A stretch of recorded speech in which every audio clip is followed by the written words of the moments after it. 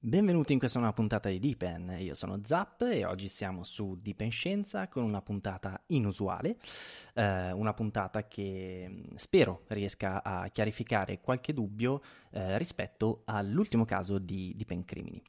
Um, oggi siamo soltanto su Spreaker, siamo soltanto su Spreaker per due motivi, primo perché um, io, me stesso e la mia stanza in questo momento sono in una situazione invereconda e quindi era meglio non mostrarvela e secondo perché ho purtroppo fatto un aggiornamento di OBS che è il programma che usiamo per streamare e mi ha incasinato eh, veramente tutto quanto. Quindi non sono ancora riuscito a sistemarlo e insomma non ho avuto il tempo. Comunque torneremo a breve su Twitch eh, su Twitch dove però potete iniziare ad abbonarvi. Se siete eh, utenti Amazon Prime Potete abbonarvi gratuitamente al nostro canale Twitch, c'è una guida sempre sul nostro canale YouTube e sul nostro Twitch.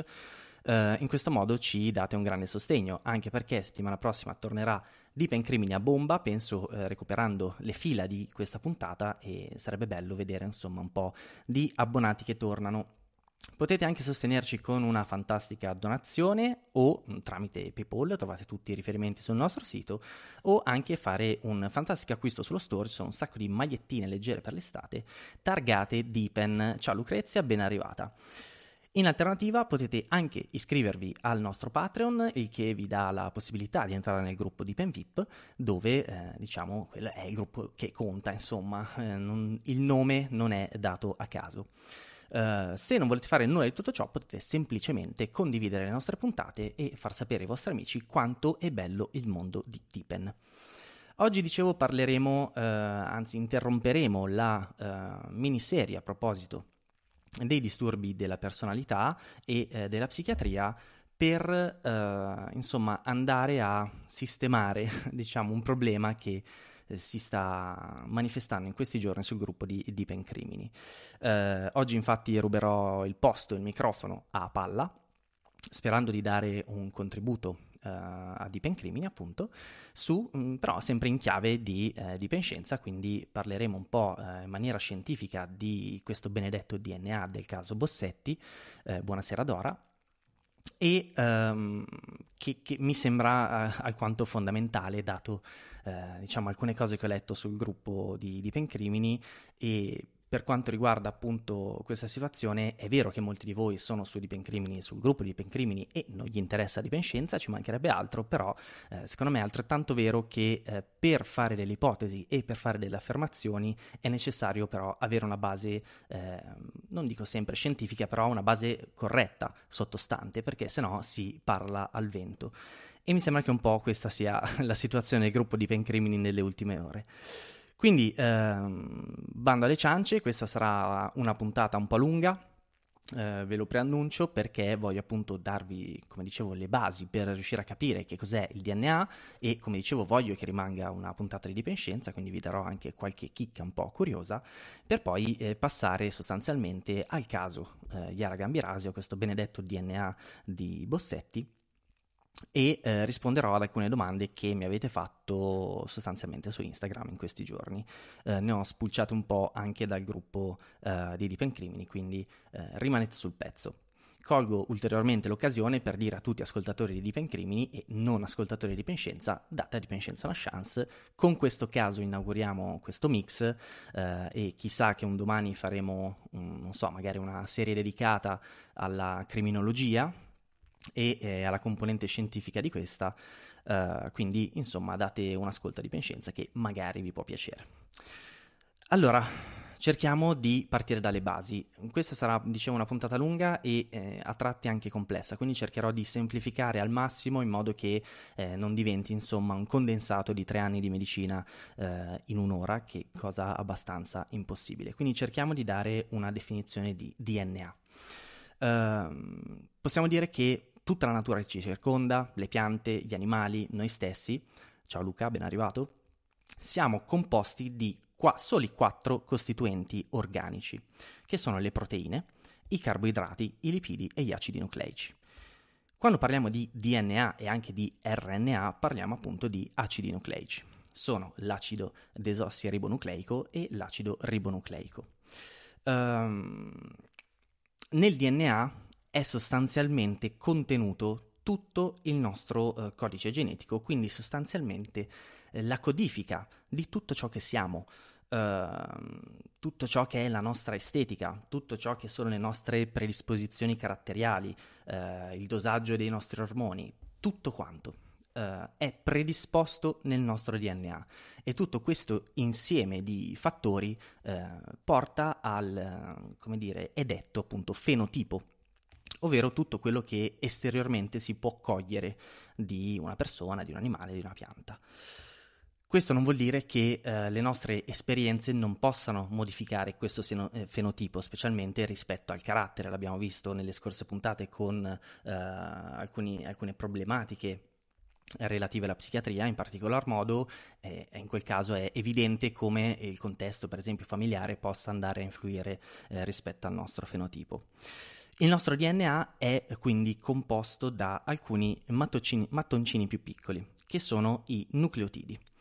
Dovete pensare ai nucleotidi come mh, mm, se fossero sostanzialmente un, un, codice di comunicazione, per esempio, di un computer. Uh, tutto quello che sostanzialmente fa un computer è capire e rispondere con una serie di numeri che sono in sequenza serie di 0 e di 1. Um, allo stesso modo il DNA eh, parla, diciamo, e scrive con delle sequenze di nucleotidi che questa volta però eh, non sono solo due, ma sono quattro per il DNA.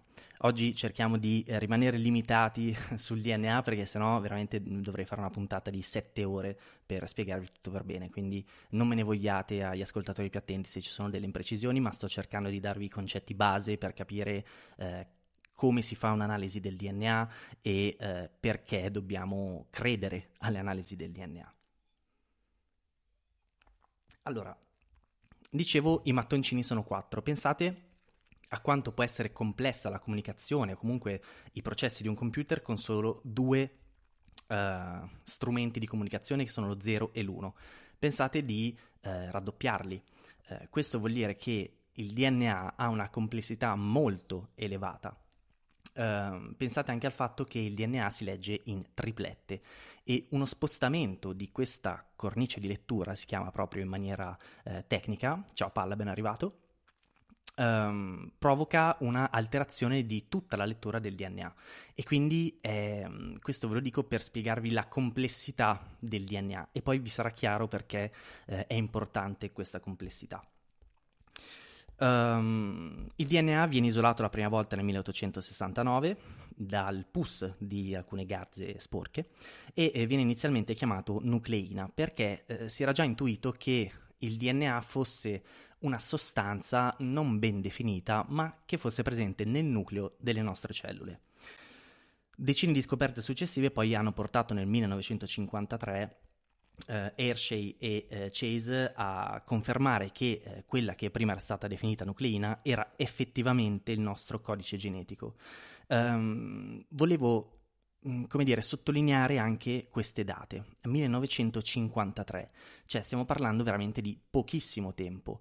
Eh, un ragionamento che ho fatto in questi due giorni, in cui stavo pensando un po' alla puntata, è che appunto prima degli anni 50 la medicina sostanzialmente fosse magia nera, fosse, non so, qualcosa di molto più pratico che scientifico. Il metodo scientifico infatti è arrivato dopo e mh, ci, ci dobbiamo affidare non perché si crede nella scienza, ma perché eh, diciamo, si crede in altre cose, nella religione, eh, mentre nella scienza eh, non si può avere questo, questo dubbio di credergli o meno. Uh, quindi che, scoprono che il codice genetico è effettivamente ereditario e sempre nel 1953 Watson e Crick iniziano sostanzialmente uh, quella che sarà in futuro la scoperta che gli frutterà il premio Nobel, uh, dando, dando al mondo sostanzialmente la foto dell'effettiva doppia elica del DNA. Apro una piccola, una piccola parentesi, eh, così come fa Palla, così vi, vi ritrovate un po' nel, nelle acque che conoscete. Eh, questa storia di Watson e Crick è la più grande frode eh, de- della storia della medicina, nel senso che molto, molto pochi conoscono la vera storia della scoperta del DNA e eh, conoscono il fatto che non sono stati Watson e Crick a scoprire effettivamente a fare quella foto del DNA. Ebbene sì, una frode, crimini su dipenscenza, incredibile che, che, che crossover. Eh, infatti è stata Rosalind Elise Franklin, questa donna che ovviamente nessuno si incula, poverina, eh, morta poco dopo la sua scoperta, aveva già fotografato tramite i suoi studi il DNA e ehm, non aveva però intuito la eh, struttura del DNA. Eh, Palla dice che sento odore di cospirazione ed è così, ed è così. Eh, perché aveva fatto dei, eh, delle foto sostanzialmente ehm, in acqua.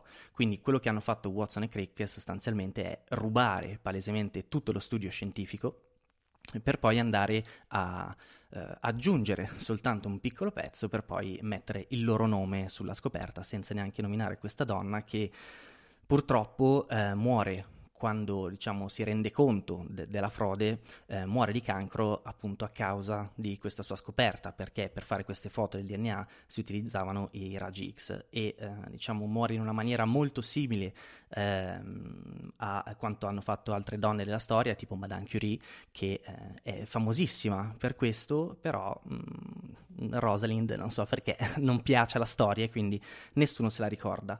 Eh, quindi Watson e Crick si sono impossessati di questa storia quando lei ha iniziato a sostanzialmente fare ricorso, a far casino per riuscire a ottenere la paternità, o meglio la maternità di questa scoperta, purtroppo è morta e quindi sono passati alla storia. Questa piccola chicca mm, curiosità. Quindi tornando al DNA.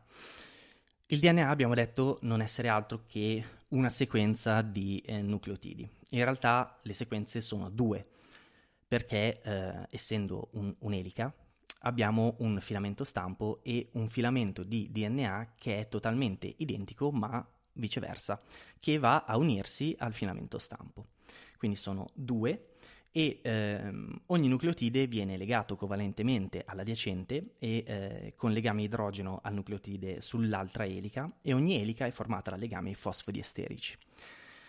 Uh, potreste chiedervi perché vi sto raccontando dei legami. Anche qui mh, mm, non ve ne frega niente se non dovete fare eh, sostanzialmente un esame e nella vita non vi frutterà assolutamente niente. Ciao Pietro, ben arrivato ma eh, questa è eh, un'ulteriore spiegazione della complessità del DNA e per darvi un'idea dell'importanza di questi legami è che eh, se anche uno solo di questi legami non avesse avuto questa natura, questa precisa natura e eh, i nucleotidi non si legassero eh, in questa maniera esatta, la vita eh, sulla Terra, eh, ovunque se esiste in un altro pianeta, non esisterebbe, perché non sarebbe possibile eh, costruire proprio il, il DNA. Uh, ehm, il DNA quindi, scusate, bevo un goccio d'acqua. Ha una complessità incredibile. Ogni nucleo della nostra cellula contiene Ehm, contiene DNA. Uh, eh, Palla, oddio, una pubblicità che meraviglia, bellissimo. Palla è dentro con 72 account, tra l'altro. Ah, magari uno è, pa- è Lucia. Um, ne, ne, contengono tantissimo. Il DNA all'interno del nostro corpo è tantissimo. Fate conto che ogni cellula del nostro corpo contiene all'incirca 2 metri di eh, DNA. Uh, se lo andassimo a srotolare tutto da una sola persona, potrebbe percorrere la distanza dalla Terra al Sole. Ma non solo perché potrebbe fare andata e ritorno 600 volte. Questo è un ulteriore indizio del fatto che il DNA è molto, molto, molto complesso. Uh, è talmente lungo che uh, per scriverlo tutto, per, se ci mettessimo a scriverlo per almeno 8 ore al giorno, uh, ci servirebbero più di 50 anni per riuscire a concluderlo. E eh, questa non è la cosa più sorprendente, la cosa più sorprendente è che qualcuno l'ha fatto. Eh, questo è stato fatto, eh, il, il, DNA è stato tutto scritto a mano da un'altra donna e eh, oltretutto è stato poi codificato eh, diciamo, tutte le sequenze di geni praticamente eh, da pochissimo, nel senso che eh, il progetto Genoma, che era il progetto dedicato eh, appunto alla decodifica di tutto il genoma umano, si è concluso solo nel 2003. Quindi ancora una volta una data molto recente. Questo è eh, per spiegarvi che sostanzialmente la medicina in questi ultimi, penso, vent'anni ha fatto dei salti da, da gigante e tutta la scienza in generale e oggi ci sorprendiamo sostanzialmente del, del Covid. Vabbè, questa è una polemica che faremo in un'altra puntata. Quindi tutta questa complessità eh, potrebbe, eh, insomma, potremmo pensare che eh, il DNA, ehm, come dire, sia sempre diverso l'uno dall'altro. Uh, quindi che un individuo possa avere un DNA completamente diverso da un altro individuo. Uh, in realtà in termini numerici non è così, nel senso che eh, il DNA, così come l'essere umano e tutte le specie sulla Terra, ha subito una certa um, evoluzione. Questa evoluzione ha portato, eh, anzi è, è, traccia proprio dell'evoluzione stessa e fa sì che eh, circa il 99% eh, del DNA sia comune a eh, tante persone, anzi a praticamente tutte le persone. Uh, pensate che gran parte del DNA, più del 99% in realtà, non codifica per proteine, quindi sostanzialmente sono delle catene di nucleotidi ripetute che sono comuni a praticamente tutti noi e a sua volta questo potrebbe farci pensare che eh, le analisi del DNA siano sostanzialmente una fuffa, perché se abbiamo tutta questa grande componente di DNA tutti uguali, allora come facciamo a dire che il DNA è di una persona piuttosto che di un'altra? Ciao Laura, ben arrivata. Bevo un secondo e vi rispondo a questa autodomanda. Anzi, vi ribadisco un'altra cosa. Consideriamo che eh, non solo eh, gran parte del DNA è condiviso da diverse persone, anzi tutte le persone, ma fate conto che abbiamo per il 40% lo stesso DNA delle banane eh, e per il 60% abbiamo noi uomini eh, lo stesso DNA dei moscerini della frutta. E eh, bevo tantissimo perché ho dovuto spegnere l'aria condizionata, sto sudando come una tigre. Quindi, alla faccia dei creazionisti vi dico anche che il 98,7% del DNA umano è in comune con le scimmie bonomo. Sì, bonomo, bonobo. esatto, siamo il 40% banane. Tra l'altro sta roba delle banane l'ho ritrovata poi anche in un'altra statistica che dopo vi racconto, che è una roba geniale. Quindi, um, a, una, a, a, questa domanda voglio rispondere subito, cioè è così, mh, que- questi numeri che cosa vogliono dire? Cioè, se ho il 99,8% di DNA uguale a quello delle altre persone, come fa il DNA a dirmi se è di una persona o di un'altra?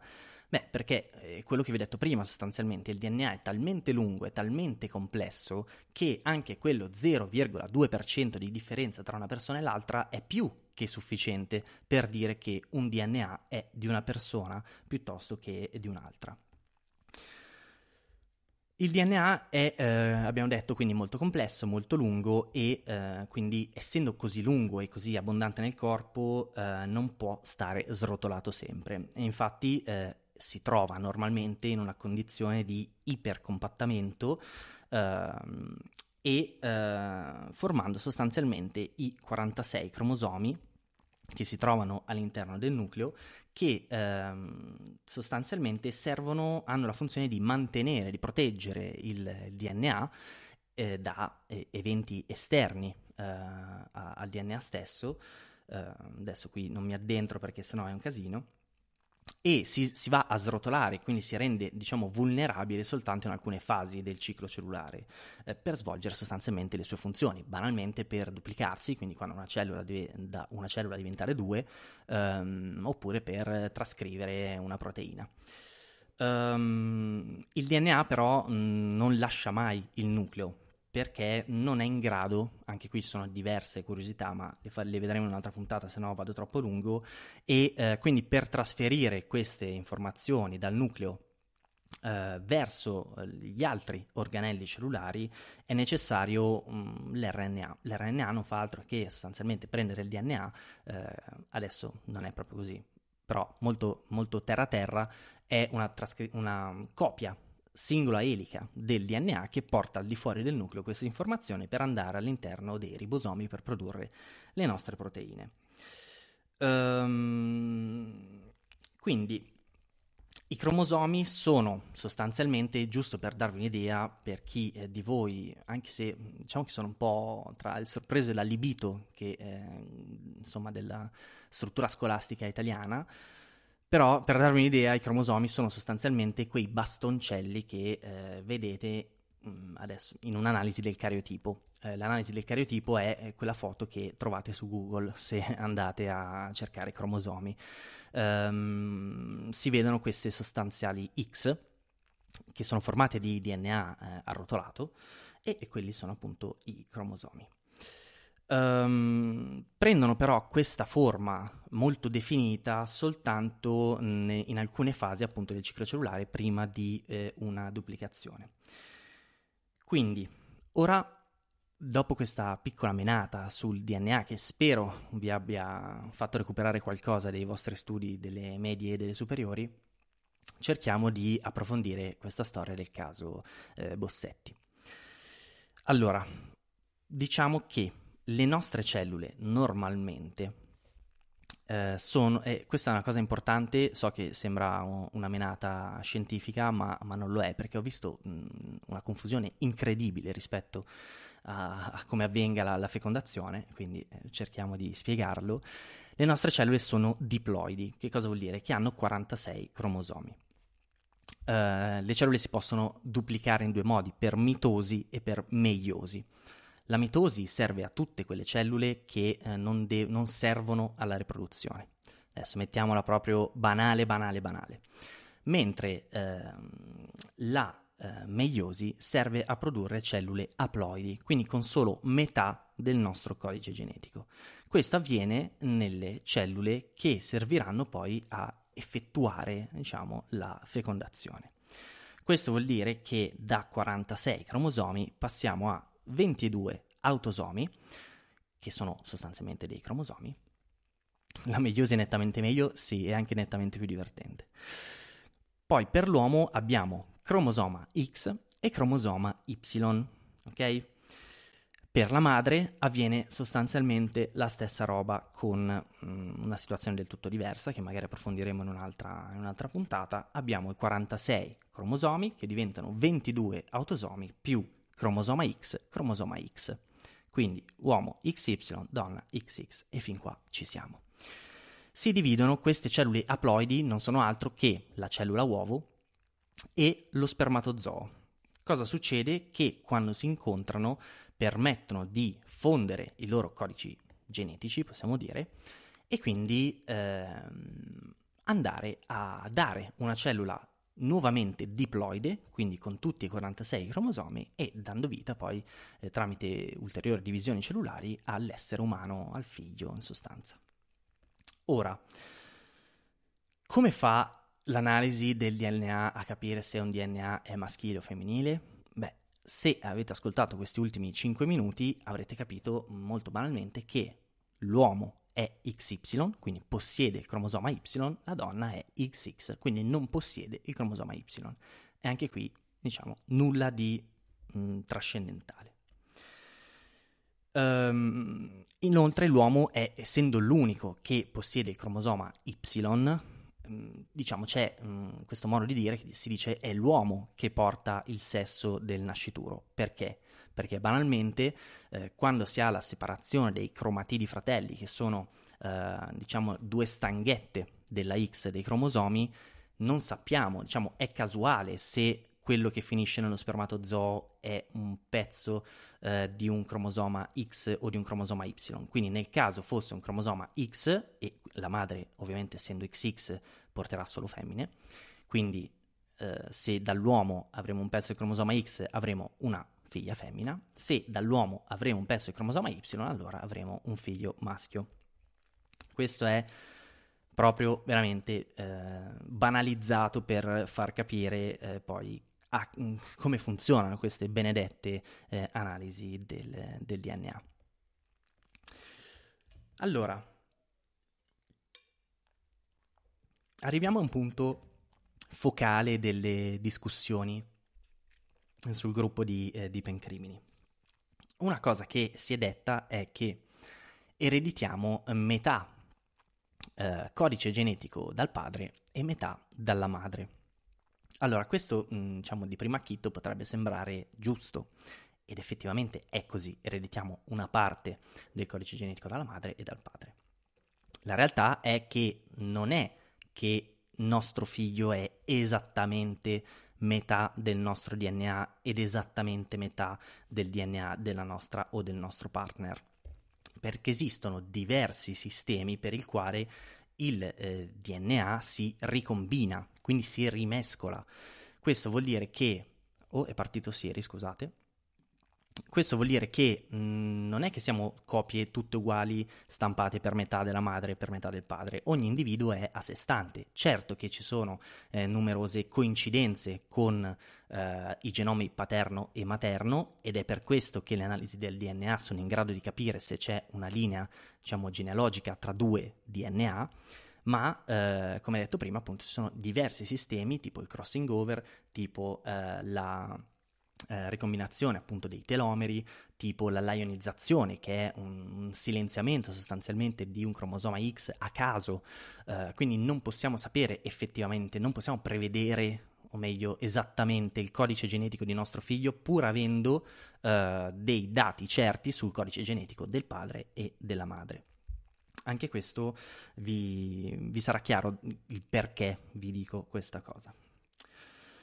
Ora veniamo eh, proprio alla, alla, puntata di crimini. Uh, come dicevo, sono abbastanza sconcertato da alcune cose che ho letto sul gruppo di, eh, di Pencrimini, uh, non tanto per le ipotesi più bislache che si sono fatte, ma sul fatto che si danno per certo delle nozioni scientifiche che certe non sono, o meglio, uh, sono certamente sbagliate. una di queste è appunto questa storia del DNA del, del figlio che poi dà vita a tutta una serie di eh, lugubrazioni sul fatto che questo DNA, ciao Francesca, ben arrivata, eh, possa essere, che ne so, di un figlio illegittimo trasferitosi in Cina, piuttosto che la madre abbia avuto un che ne so, un, un, gemello di cui non conosce l'esistenza senza accorgersene o che abbia fatto l'amore con uh, il padre di quell'altro, allora possa essere. No, adesso cerchiamo di chiarire tutto. Sul corpo di Chiara, per chi non fosse avvezzo a uh, ascoltare di Pencrimini, è stato trovato del DNA. Questo DNA, dato che il corpo della povera ragazza è stato trovato diversi anni dopo eh, la scomparsa, se ho ben capito. Qua correggetemi se sbaglio, perché io, come sapete, non sono molto addicted cri- ai crimini, eh, mi interessano solo diciamo, le statistiche di Deep Crimini, eh, non tanto il contenuto, perché banalmente non è, non è nelle mie corde, non, non mi interessano questi, questi argomenti. Uh, quindi se faccio delle imprecisioni nel raccontare questa storia, sicuramente correggetemi. Quindi viene trovato eh, il corpo della ragazza e non ci sono assolutamente prove. Eh, tre mesi dopo viene trovato, ok? Qualche mese dopo, quindi quattro mesi dopo, va bene. Quindi eh, non, ehm, non ci sono prove, non ci sono indagati, non c'è niente. E come ben diceva Palla nella sua puntata, sì, sono molto venale. Uh, come diceva Palla nella sua fa- fantastica puntata, uh, sostanzialmente questo è stato il caso più discusso, più parlato, più famoso e anche più costoso della storia della Repubblica Italiana, perché appunto si è dovuto sostanzialmente scrinare un intero paese, una, una provincia, per riuscire ad avere uno straccio di, uno straccio di prova. Viene però trovata appunto sul corpo uh, del DNA, che è l'unico appiglio per riuscire a risolvere eh, questo caso e questo DNA è sostanzialmente, se ho capito bene sempre, l'unica e eh, definitiva prova con il quale è stato dato l'ergastolo a Bossetti. Quindi hanno sostanzialmente trovato un colpevole tramite un riscontro del DNA. Adesso, questa storia del DNA, come dicevo prima, ha creato un parapiglia. Nel senso che non so se Bossetti è particolarmente simpatico o, mh, mm, insomma, non riesco a spiegarmi perché c'è questa carica emotiva nel difendere Bossetti a tutti i costi. E, io neanche voglio né dire qualcosa a favore né dire il contrario, perché, come detto prima, non conosco il caso, non ne sono appassionato, non ho ascoltato tutti i crismi, ho ascoltato, diciamo, quello che, eh, diciamo, molto, molto leggermente le puntate senza prendere appunti, ecco. Ma eh, in sostanza questa analisi del DNA non convince. Non, non si sa perché, non convince. Allora, la procura, quindi il giudice e le indagini, hanno assodato che eh, questo DNA fosse una prova schiacciante. Ed effettivamente io mi svelo subito, tiro giù subito le carte e vi dico, anche per me è una prova schiacciante. Uh, ma perché, eh, quindi dopo anni, dopo un, un'intera stagione di Pencrimini, dopo una seconda revisione del caso su di Pencrimini, ancora um, si passiamo due giorni a discutere su questo DNA? Io veramente non lo so. Secondo me, appunto, il problema è la confusione a proposito della, del DNA stesso, cioè come funziona e, e, come si fa l'analisi del DNA. Allora, um, altra piccola parentesi all'interno di questo campione di DNA, che ricordiamo essere del DNA commisto, mi hanno anche chiesto tra le domande cosa vuol dire DNA commisto e dopo ve lo spiego, eh, trovano del DNA mitocondriale. Allora, anche qui c'è da fare un po' di spiegone. Uh, il mitocondrio è sostanzialmente un organello cellulare che possiamo banalizzare come la centrale elettrica, la centrale energetica della nostra cellula. Nei mitocondri abbiamo tantissimi mitocondri all'interno delle cellule e, eh, come dire, sono variabili a, per numero in base alla cellula. Ci sono cellule che ne hanno tantissime perché magari devono contrarsi, insomma devono consumare tantissima energia, quindi hanno bisogno di tanto ATP. Eh, ci sono cellule che invece ne utilizzano di meno e quindi hanno meno mitocondri. Questo DNA è sostanzialmente diverso, possiamo dire anche qui a grandi linee, dal DNA nucleare. Uh, infatti è molto molto molto molto più piccolo rispetto all'intero genoma di cui abbiamo parlato prima, quindi 600 volte avanti e indietro tra la Terra e il Sole. Il genoma nucleare infatti ha circa 20.000 geni, mentre il genoma mitocondriale ne ha solo 37. Questi 37 geni servono a produrre solo 13 proteine, che sono le proteine necessarie al mitocondrio per riuscire a svolgere la sua funzione. Ora, il DNA eh, mitocondriale c'è anche da dire, e anche qui si è fatta veramente una, la storia dietro questo DNA mitocondriale, bisogna dire che il DNA paterno, quindi del padre, non entra eh, all'interno dello spermatozoo e quindi non può essere trasmesso dal padre al figlio. Se vogliamo essere ancora più precisi, in realtà gli spermatozoi possiedono uh, dei mitocondri e quindi il DNA mitocondriale del padre, perché eh, ragionate con me, eh, lo spermatozoo lo fa il maschio. Io, io, ormai paleso tutto in questa puntata, cerco di spiegarvi veramente come se eh, spiegassi a un bambino di 6 anni, così eh, riusciamo a eliminare tutti i dubbi a proposito di questa storia del DNA sono presenti appunto nella coda dello spermatozoo. Se eh, avete qualche remind delle lezioni di biologia, la coda dello spermatozoo non entra all'interno dell'ovulo e quindi sostanzialmente i mitocondri del padre non entrano mai eh, dentro la cellula, non partecipano quindi alla fecondazione.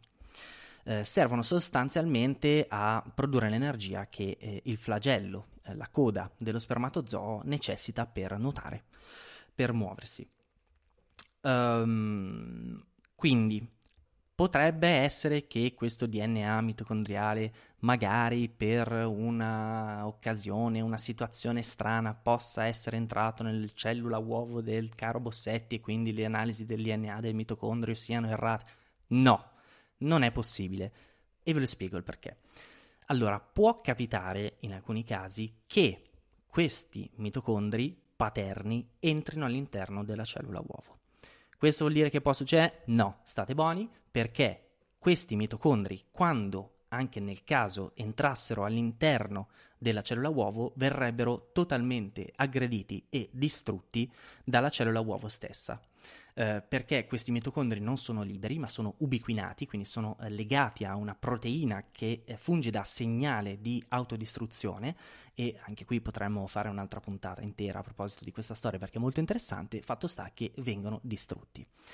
E ma se il Bossetti fosse quella situazione rara da premio Nobel in cui non venissero distrutti? Eh? No, non può essere. Perché? Perché anche se riuscissero a sopravvivere questi mitocondri questo DNA partecipasse alla fecondazione, eh, DNA sempre paterno mitocondriale, ricordiamo, provocherebbero delle gravissime malattie, malattie evidenti e vi dico subito eh, l'emofilia non è fra queste. Quindi chiudiamo questa, questa zona. Quindi questi mitocondri, questo DNA mitocondriale arriva tutto dalla madre. Dato che questo DNA eh, ci arriva dalla nostra madre e eh, a nostra madre arriva la sua madre e, e così via all'infinito, eh, il DNA mitocondriale è utilissimo per andare a eh, studiare diciamo, la genealogia eh, in senso materno di una famiglia, ma è, è talmente diciamo, preciso che eh, è stato utilizzato per ricostruire addirittura le migrazioni dall'Africa verso l'Europa negli uomini di Neanderthal, per farvi capire. Quindi stiamo parlando veramente di una precisione millimetrica. Quindi errori in questo senso, mh, mm, diciamo, vi, vi preannuncio che non ce ne sono. Quindi possiamo o no essere certi che questo benedetto eh, DNA eh, sia di Possetti? Potrebbe essere effettivamente un DNA di una persona qualunque lungo la linea materna, come si è più volte diciamo, affermato nel gruppo in questi giorni? La risposta è no. La risposta è no perché? Perché Innanzitutto le analisi del DNA mitocondriale, pur essendo molto più complesse rispetto all'analisi del, del, del DNA nucleare, ci permettono di distinguere eh, questa cosa. Ogni persona infatti ha un suo proprio DNA, questo vorrei che fosse chiaro. Uh, per quanto sia vero anche che il DNA mitocondriale uh, è sostanzialmente quello materno, non è detto che le triplette di nucleotidi del, uh, del DNA mitocondriale del figlio siano esattamente le stesse di quello della madre. Possono essere eh, rilevanti appunto per lo studio genealogico perché le differenze sono poche, ma esistono. Inoltre, eh, in quella benedetta traccia di DNA, io inizialmente, e se vi ricordate avevo fatto già una puntata insieme a Palla a proposito di questa storia, eh, avevo detto che non ero sicuro di alcune cose, ma effettivamente non avevo capito. In questa traccia di DNA loro hanno trovato del DNA nucleare di Bossetti e eh, quindi l'unione di questo DNA insieme a quello mitocondriale, insieme a, eh, al fatto che lui girasse attorno alla palestra, sono stati in sostanza eh, delle prove schiaccianti contro il buon, il buon Bossetti. Allora, quindi Potrebbe essere parente di lungo alla linea materna? Eh? No. Lo ripetiamo? No. Ancora una volta, no. Ripetita Juvent? No. Non è un parente. Per diversi motivi. E adesso ve li spiego. Prima di tutto, uh, se anche fosse stato soltanto del DNA mitocondriale, quindi uh, non, non avessimo avuto del DNA nucleare, che quindi abbiamo detto ci dà sostanzialmente la certezza che quel DNA fosse di Bossetti. Adesso Laura ti rispondo. Uh, rispondo dopo perché me l'hanno chiesto anche nelle storie, nelle storie di Instagram, quindi ce l'ho, ce l'ho segnato. Uh, se anche fosse stato soltanto una, una, traccia mitocondriale, e anche qui si è fatto cioè, la, la, storia perché il DNA mitocondriale resiste di meno del DNA nucleare, ma cioè, veramente una storia che io non, non, comprendo. Cioè, se il DNA c'è, chi se ne frega di quale si degrada prima?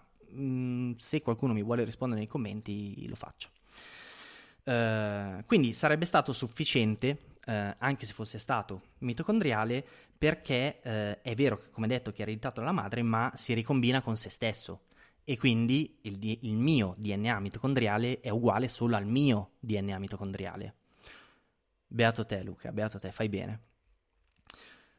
Il DNA di palla, il DNA mitocondriale, non è lo stesso identico di quello di sua madre, è il suo DNA mitocondriale, ancora di più quello nucleare. Quindi ogni persona ha il suo DNA.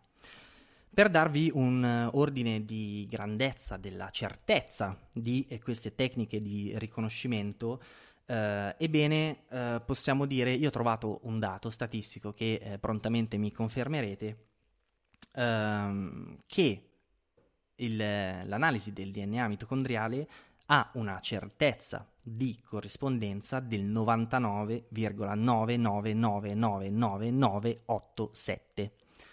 Direi che è una buona certezza. Avere un'analisi positiva possiamo dire che eh, ha un buon effetto mm, predittivo positivo, no? Sarete, spero, d'accordo con me. Um, il problema relativo sostanzialmente al DNA mitocondriale, quello che potrebbe essere stato l'inizio del casino relativo a questa storia, è che il DNA mitocondriale è ottimo, dal, cioè ottimo, è sufficiente per un riscontro se abbiamo, un, um, se abbiamo due campioni, cioè uno quello che abbiamo raccolto, uno quello che eh, prendiamo dalle persone come è stato fatto durante le indagini e quindi se c'è un match allora a quel punto ci dà questo grado di certezza. Quello che non può fare sostanzialmente l'analisi del DNA mitocondriale è analizzare solo il campione che è stato trovato sul corpo di Yara per dire è stato lui. Primo perché, come dicevamo oggi nel gruppo, non esiste una banca dati mondiale e, e aggiungerei per fortuna di tutti i DNA eh, del, della Terra, quindi eh, non, ha, non possiamo fare il doppio check in questo senso. E poi perché non ci dà alcune diciamo, informazioni, o meglio tutte le informazioni che ci dà il DNA eh, nucleare. Quindi è molto utile per fare un confronto e scarsamente utile per cercare a tappeto, cosa che in realtà poi è stata fatta. Allora, poi, um, come funzionano queste benamate eh, analisi DNA, del DNA? Ve le faccio molto semplici perché anche qui ci vorrebbero altre tre puntate. Molto semplicemente si prende il DNA, lo si estrae, si prende il campione, lo si replica n volte tramite la polimerasi, che eh, anche qui è un macchinario che è stato scoperto da poco in realtà, cioè da poco parliamo di 30 anni, e eh, questo campione eh, lo si analizza, lo si mette sostanzialmente in un calderone contenente anche l'altro campione, quindi quello dalla persona che dobbiamo confermare o non confermare essere sua la traccia, e vediamo se sostanzialmente c'è un match tra eh, i due DNA. Se questo match c'è ed è buono, eh, o meglio, non se è buono, se questo match c'è, punto, così eh, eliminiamo un altro ulteriore dubbio, si ha quel grado di certezza di cui parlavamo prima. Perché? Perché vi ho spiegato prima che il DNA è molto complesso. I legami che ha il DNA eh, tra un'elica e l'altra sono unici, non, non possono essere replicati, non sono casuali, ok? Uh, bastano, basta una tripletta sbagliata, basta in realtà anche solo uno o due nucleotidi che non sono nell'ordine giusto per dire che quello non è il DNA di una persona. Uh, quindi questo è molto in generale come funzionano le analisi del DNA. Um, ehm, bevo un secondo e proseguiamo. Ah, qua c'è una cosa importante da dire. Vabbè, come dicevo prima che sostanzialmente è impensabile, uh, è veramente stati- statisticamente direi impossibile uh, avere un match con una persona che non ha il mio stesso DNA. E questo è, tra l'altro, magari ci riuscissimo, perché questa sarebbe la soluzione sostanzialmente a tutti i trapianti, no? Uh, I trapianti vanno male, o meglio, hanno una reazione contro, si ha una reazione contro l'organo trapiantato proprio per questo motivo, perché non esistono due individui identici. Non esistono due individui identici neanche nel caso di gemelli monzigoti. Quindi, domanda, può essere, che mi hanno fatto, può essere il DNA della gemella di eh, Bossetti? Assolutamente no. Può essere che Bossetti abbia un, un gemello scomparso eh, identico a lui in tutto e per tutto, eh, che eh, quindi il DNA possa essere suo? Assolutamente no, perché come detto il DNA è personale. Ogni persona ha il suo DNA, non è possibile trovare sulla faccia della Terra e se ci riuscite mandatemi una mail così eh, mandiamo un, insomma, una richiesta per la ricezione del premio Nobel, mando anche il mio IBAN, poi lo metto nella, nella roba della puntata sotto, nelle, nella descrizione. Uh, se riuscite a trovarlo, quindi andiamo a prenderci questi soldi. Non si può, non esiste una persona che ha il mio stesso identico DNA, neanche i gemelli monozigoti hanno lo stesso DNA. Perché? Perché esistono le ricombinazioni, ma non solo, esistono anche oltre alle ricombinazioni, va bene, ma esistono anche le mutazioni. Eh, le mutazioni mh, mm, non è che mh, mm, siano così infrequenti e che provochino eh, delle manifestazioni alla Hulk per forza o alla Spider-Man. Eh, le mutazioni possono essere anche microscopiche, eh, di anche una sola tripletta, di anche un solo nucleotide e in alcuni casi provocano delle malattie e molto spesso sono anche spontanee, sono dette mutazioni de novo, che sostanzialmente un po' tutti abbiamo, no? Quindi è sostanzialmente quindi, impossibile che ci siano due DNA uguali. Quindi altra domanda. Il DNA potrebbe essere della gemella di Bossetti, l'abbiamo già detto prima, no, perché è una donna, eh, cioè ha il cromosoma XX, quindi no. Uh, brava Laura, vota per me al premio Nobel. Si vota al premio Nobel, no, però vabbè, tu vota per me. Poi ehm, può essere il DNA di un altro figlio illegittimo di eh, Guerinoni, che appunto è il padre ehm, effettivo biologico di eh, Bossetti, che si è scoperto dopo. Anche questo ha aggiunto ulteriore complessità a questa storia del DNA. Assolutamente no. Cioè, se non può essere il DNA di un fratello gemello monozigote di Bossetti, figurati se può essere di un suo fratello. Cioè, anche qui sul gruppo si è detto, eh, potrebbe essere magari di un fratello che non ha detto niente, allora il match ha dato che sono parenti. No, cioè no, ragazzi, il DNA, l'analisi del DNA ha dimostrato eh, fino diciamo, a prova contraria, perché poi io non è che sono qua per incastrare Bossetti, a me non me ne frega niente. Non ho interessi, non ho né simpatia né odio per Bossetti, non sapevo neanche chi fosse prima dell'esistenza di Dipen Crimini. Um, il DNA è stato analizzato da quattro diversi eh, laboratori. Ora, l'unica, e ve lo dico subito, così ci togliamo il dente, via il dente, via il dolore, l'unica possibilità che quel DNA non sia effettivamente di Bossetti è che li, tutti e quattro eh, i laboratori abbiano mentito palesemente, quindi facendo eh, un reato, no? Non c'è margine d'errore. Perché? Eh, perché lo vediamo dopo, anzi perché me l'avete chiesto.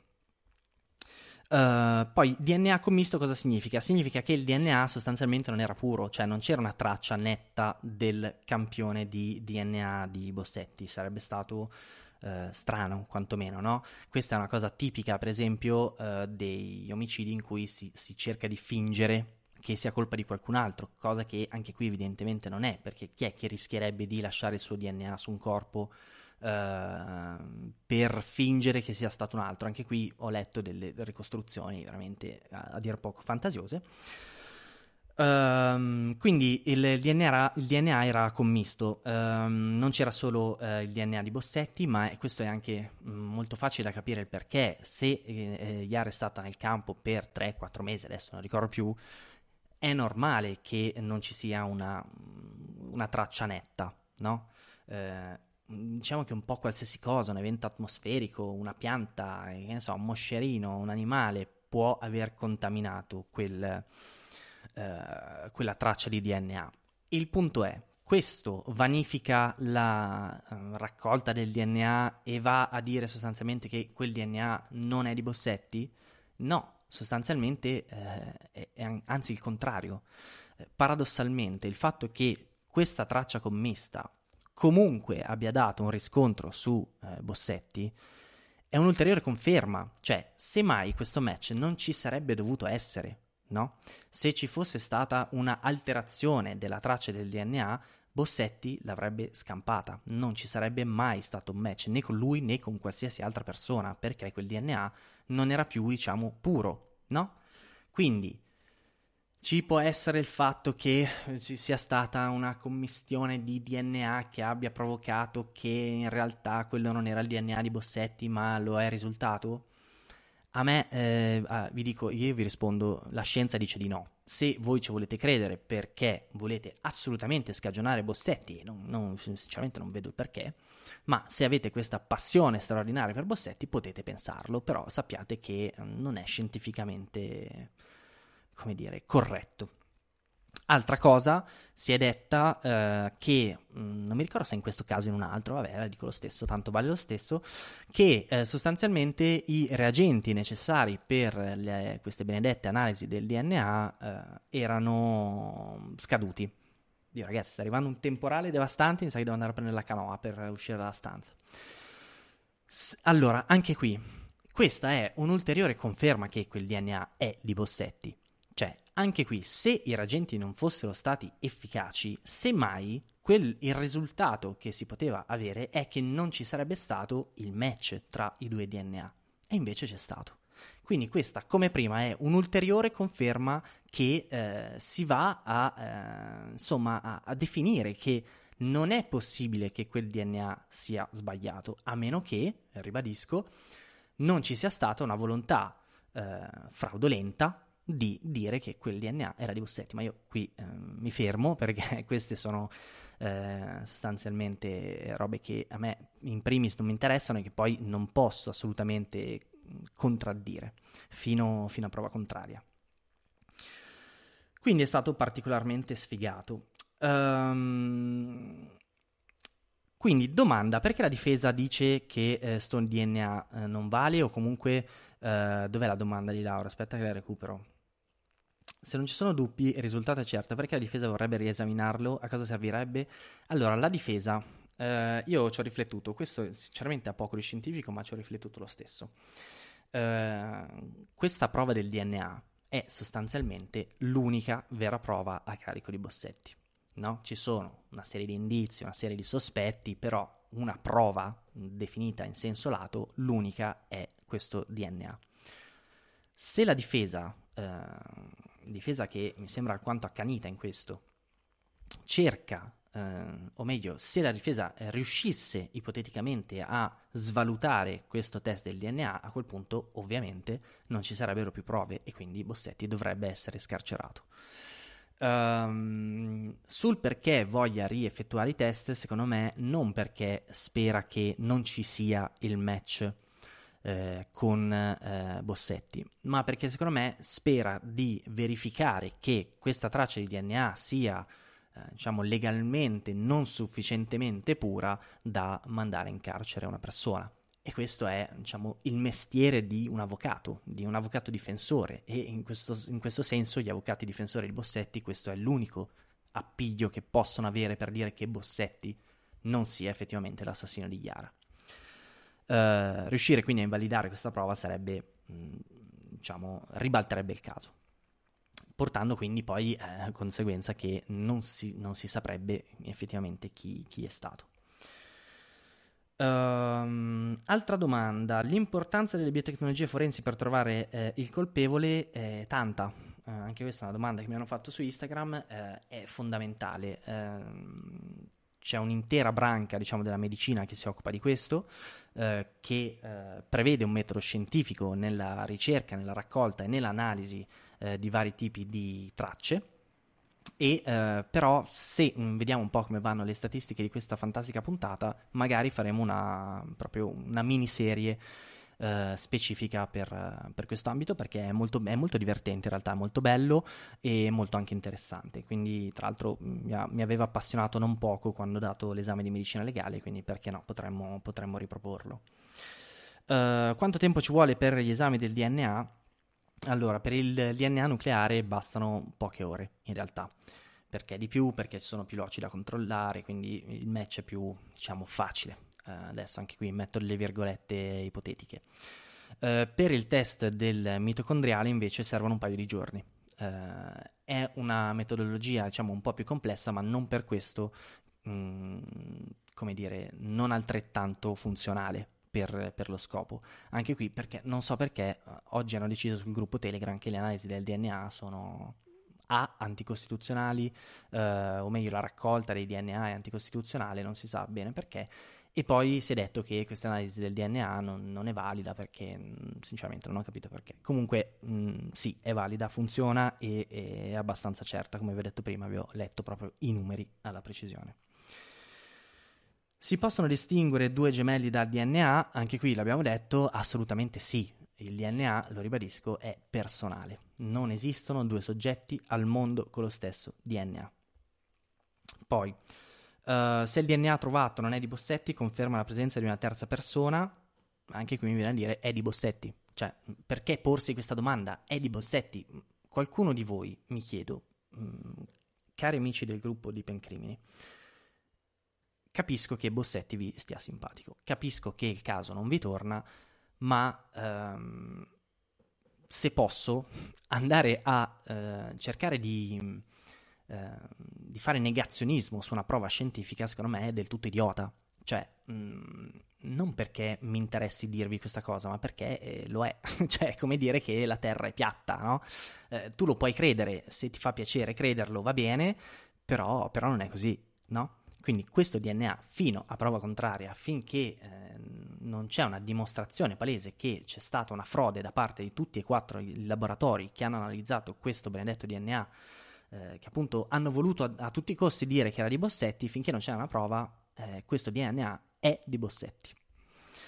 Che dubbi ci sono riguardo alla tecnica usata per risalire eh, a Esther come madre di Ignoto 1? Nessuno, non c'è nessun dubbio a proposito. Cioè, eh, abbiamo detto prima che il DNA mitocondriale viene trasmesso dalla madre, quindi è fondamentale. Eh, potremmo riuscire a, eh, so, a, ritrovare delle tracce dei nostri antenati di Neanderthal, figurati se sbagliano che eh, Ignoto 1 fosse figlio eh, appunto di, di Esther di, di, cui non so nomi, cognomi, quindi immagino che voi abbiate capito, utenti di Divent Crimini.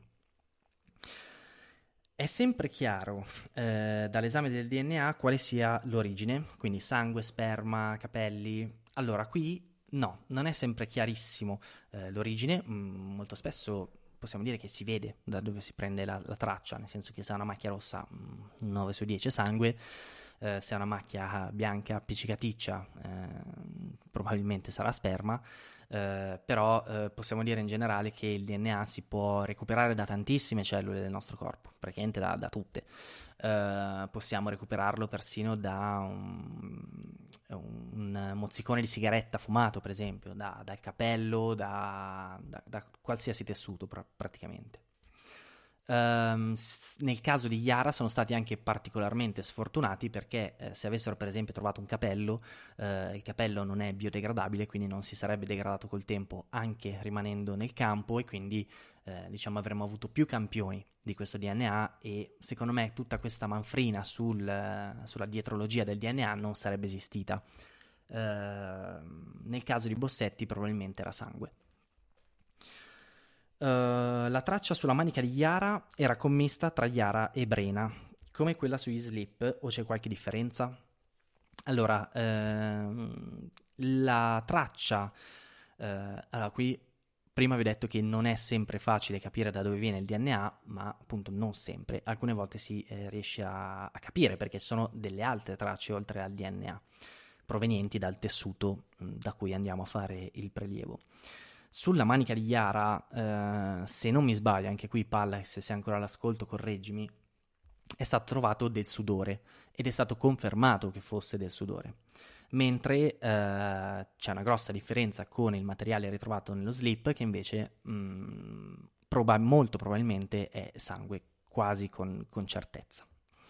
Uh, è commisto perché ovviamente è rimasto alle intemperie, quindi in quel senso è commisto, non è una traccia pura. Poi, come si lascia una traccia di DNA su un'altra persona? Basta un tocco, serve uno scambio di liquidi. Allora, mh, mm, come detto prima, il DNA eh, arriva da qualsiasi tessuto biologico, da un capello, da uno starnuto, eccetera, eccetera, eh, anche dal sangue e dallo sperma, ovviamente. Eh, diciamo che eh, non è impossibile trasmettere il proprio eh, DNA attraverso, per esempio, una cellula epiteliale eh, con una stretta di mano. Quello che è quasi impossibile è andare a rintracciarlo, nel senso che eh, il campione deve essere visto, riconosciuto, prelevato in maniera corretta e quindi in questo senso è, è complesso, però tendenzialmente non è necessario comunque uno, uno, scambio di liquidi per trasmettere proprio DNA o lasciarlo su una superficie piuttosto che su un'altra persona, eh, basta appunto, come dicevo prima, uno starnuto. Um, usano la scusa dell'alibi. Non ho capito questa domanda. Usano la scusa dell'alibi perché il DNA non corrisponde?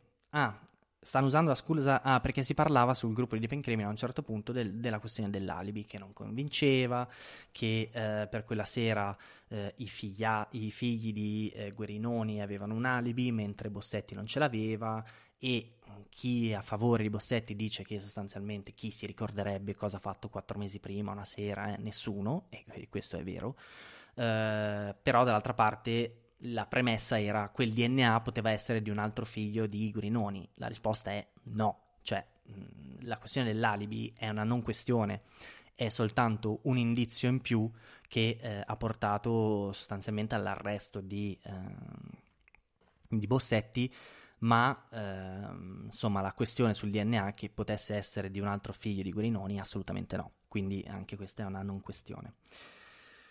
Uh, potrebbe un fratello avere maggior corrispondenza? Anche qui no, l'abbiamo detto più e più volte. Uh, il mitocondriale ci può dire più di quello che già non ci ha detto il DNA nucleare? Mm, no, in realtà all'interno del, dell'analisi del DNA nucleare c'è già tutto quello che ci serve sapere rispetto specialmente alla medicina forense. Uh, il mitocondriale può essere utilizzato per altri studi, oppure può essere utilizzato a conferma di, eh, dello studio che abbiamo fatto sul DNA nucleare, che di per sé è già certo. Quindi ragazzi, io eh, spero di aver risposto a tutte le vostre domande, spero di essere stato chiaro, nel senso che eh, abbiate capito che eh, questa mia puntata eh, non, non, vuole assolutamente essere una puntata contro Bossetti perché non ne ho alcun interesse, Uh, e sostanzialmente che mh, si siano corrette un po' anche alcune castronerie che sono state dette nel gruppo, nel gruppo di, di Pencrimini e che uh, se volete crearvi una storia alternativa o fare il gioco di trovare una ricostruzione va bene, non ho nulla in contrario, ma fatelo con delle premesse scientifiche corrette. Quindi mh, ipotizzare la presenza di un fratello gemello cattivo di Bossetti, secondo me, è un po' campato per aria. Poi decidete voi, nel senso, se vi divertite in questa maniera, no, non ho niente in contrario. Quindi ragazzi, io sono stanco morto. Uh, se avete altre domande potete farmele sul, sul, gruppo, potete farle su Instagram, potete farle su DeepNVip se siete iscritti a DeepNVip. E io vi lascerei e ci sentiamo nel prossimo episodio che probabilmente eh, tornerà con la normale programmazione di, Penscienza. Spero che la puntata vi sia piaciuta e vi mando un saluto. Ciao!